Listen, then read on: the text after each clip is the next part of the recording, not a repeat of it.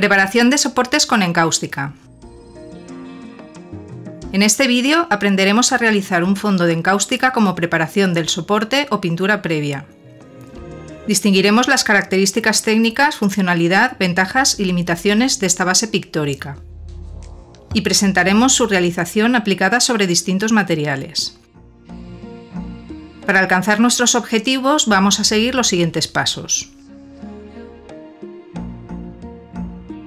A nivel técnico, la pintura es una estructura heterogénea y compleja, compuesta de un soporte al cual se adhieren distintas capas de imprimación y pintura, procurando mantener todo en equilibrio para optimizar su funcionalidad y permanencia. Así, las distintas combinaciones opcionales de técnica, soporte e imprimación van condicionadas en interdependencia. El soporte virgen se imprima para facilitar la práctica, expresividad y estabilidad de la pintura, regular la absorción, color y textura de la superficie y, en el óleo sobre lienzo, proteger de la oxidación a la tela. En función de esto, el pintor profesional normalmente suele imprimar selectivamente, utilizando como material ligante bien proteína o polímeros sintéticos en afinidad a la técnica que va a desarrollar. Si observamos el caso de la pintura lancáustica, es algo excepcional al no requerir imprimación. Es más, pudiendo admitir imprimaciones proteicas de tipo magro, generalmente preferimos no usarlas y así nos reservamos la posibilidad durante el proceso de aplicar herramientas de calor que dañarían la imprimación provocando su desprendimiento.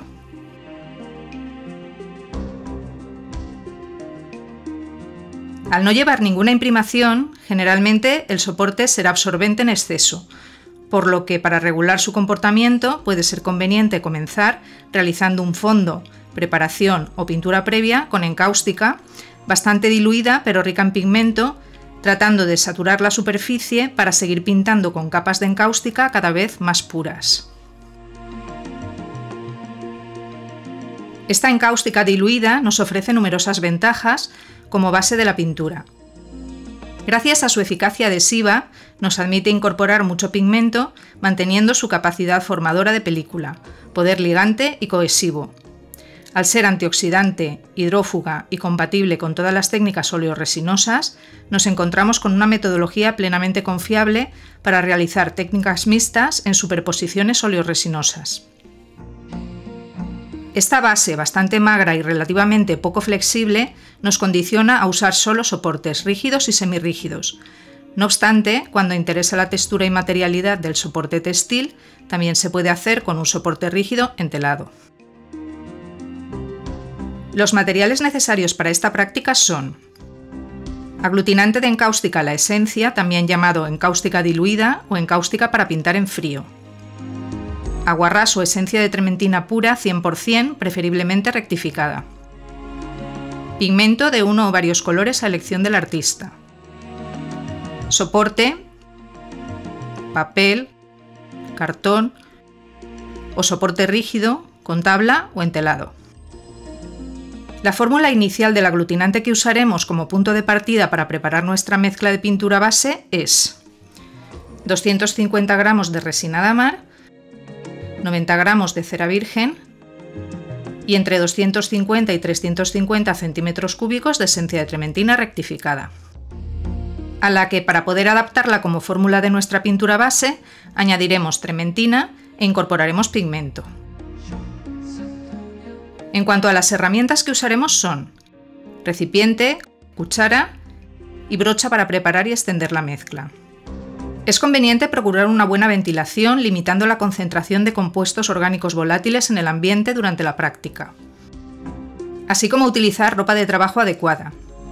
Emplearemos guantes aislantes para prevenir la absorción cutánea y gafas de protección bilateral.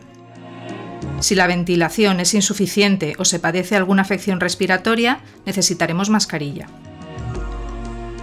A continuación mostraremos la secuencia de operaciones.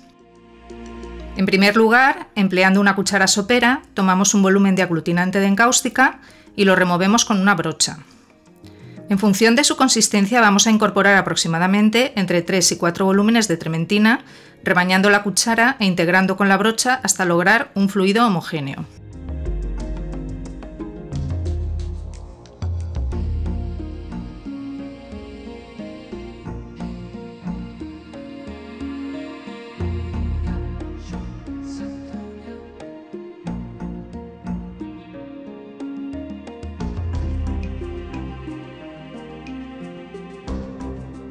Tomamos una cantidad de pigmento, en este caso amarillo y rojo, equivalente en volumen a la mitad del medium que hemos preparado, y se lo añadimos mezclando e integrando.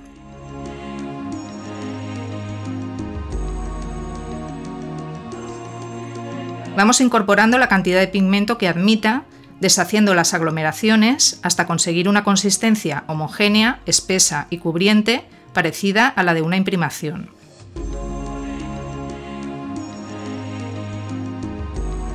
Ahora lo probaremos en una tablilla para observarlo e iremos rectificando y ajustando la proporción entre pigmentos, aglutinante y trementina, tratando de conseguir una mezcla óptima en cuanto a la consistencia, cubrición y matiz cromático, según nuestras necesidades e intereses.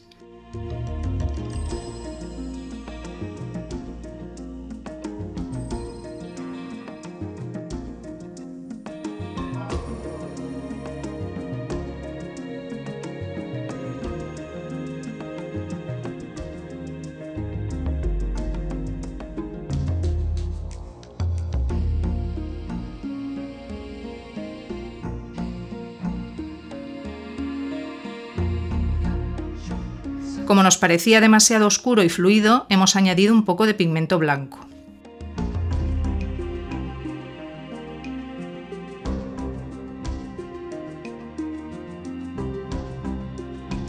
Al final, en este preparado ad hoc, hemos usado un volumen de aglutinante más 4 de trementina para el medium y aproximadamente parte y media en volumen de pigmento respecto al anterior compuesto, aunque estas proporciones son variables que necesariamente hay que ajustar ex profeso en cada ocasión. Ahora tomamos una tablilla y vamos extendiendo una capa generosa por toda la superficie, cruzando las direcciones con la brocha hasta cubrirla por completo.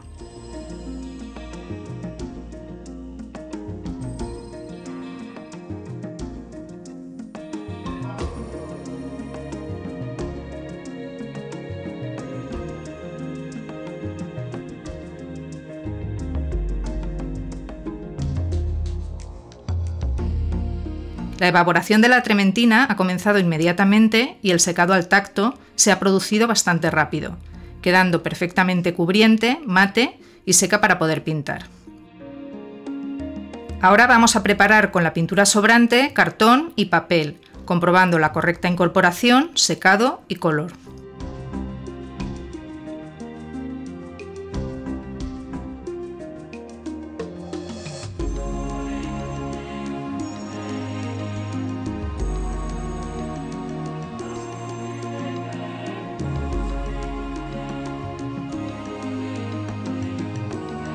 Y estos son los resultados que hemos obtenido sobre los distintos materiales de soporte.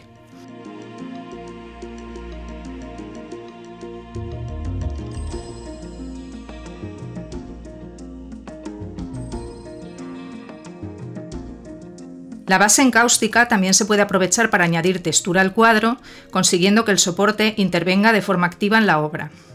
También se puede preparar sobre una paleta térmica para facilitar la incorporación de cargas o aumentar la proporción de pigmento.